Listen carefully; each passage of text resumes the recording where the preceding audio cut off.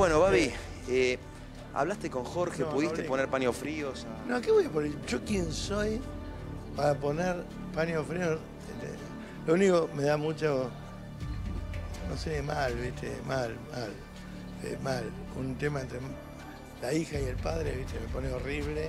¿Vos pensás que después de las peleas que yo tuve con Jorge, Jorge a mí me va a llamar para, para que yo le explique algo? Es un tema muy álgido, muy delicado.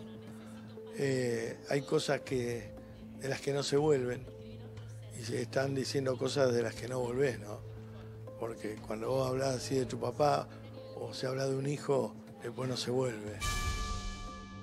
A veces es peligroso meterse en la vida privada de la gente porque después los que dejás heridos, por eso hay una frase del padrino que dije, nunca dejes al enemigo con vida. Un día me llamó para salir al aire hablar mal del padre y no se lo permití. Ah, te llamó ella para salir. Hace un año y medio. Ah, no, a la productora, no a mí.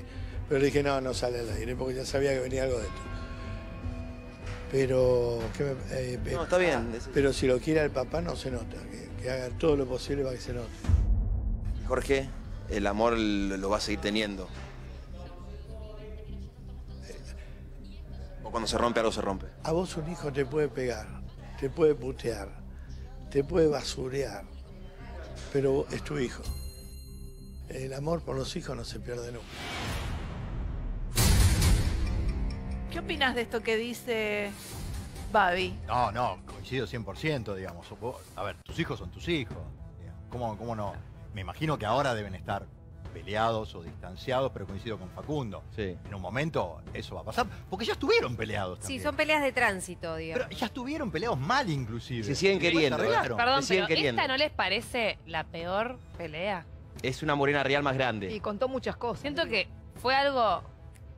Antes de la internación de Morena también había salido con munición pesada Morena en aquel entonces. Mm. ¿eh? Pero porque Morena quedó muy sensible, muy angustiada y, y no, no está, no está pudiendo sanar, o sea, no terminó de perdonar a su papá por la internación. Porque ella lo dice todo el tiempo. Eso es lo que yo no le perdono a mi papá, que me haya internado. Bueno, Pero- Pauli, pero también lo que dice es que su papá le llamó, la llam- a ver, llamó su atención cuando salió todo el tema del incendio del hotel de Córdoba. Eso también lo dijo Morena, que su padre como que le dice, a ver, no tengo un respiro que cuando empiezo nuevamente a levantar la cabeza llega otra noticia tuya con algún escándalo.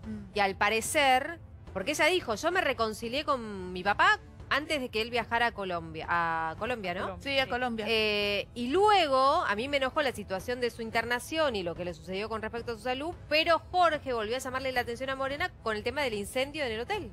Mm. Sí, y el amor y el odio son la misma cosa en diferente intensidad. Tal cual. Entonces, si se puede pasar del amor al odio y del odio al amor, y en el vaivén hay un Sí. montón de intermedios. Sí, pero en el medio, para hacer ese, ese, ese pase tan, tan gigante, hay algo en el medio que se llama perdón, Sí. Ah.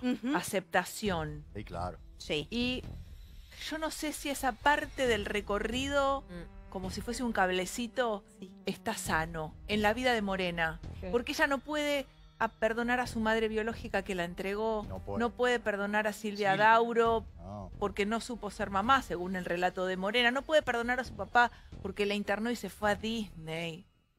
Bueno, eso puede llegar a doler mucho, ¿no? Que te